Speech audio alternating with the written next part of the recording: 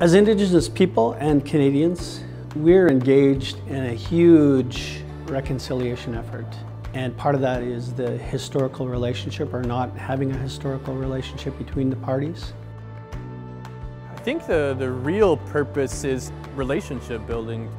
I think the biggest uh, impact is it has is it's started to create safe space, I think, between the two organizations. Coming in and seeing how we interact now and, and just how seamless it's become, um, it makes it easy for us to have those, those tough discussions. With the work of CanDo and the amazing CEDI team, people are realizing how bountiful this relationship can be. They're bringing municipalities and neighboring First Nations together and talking about what can we do to further this partnership. And it's happening. How great is that?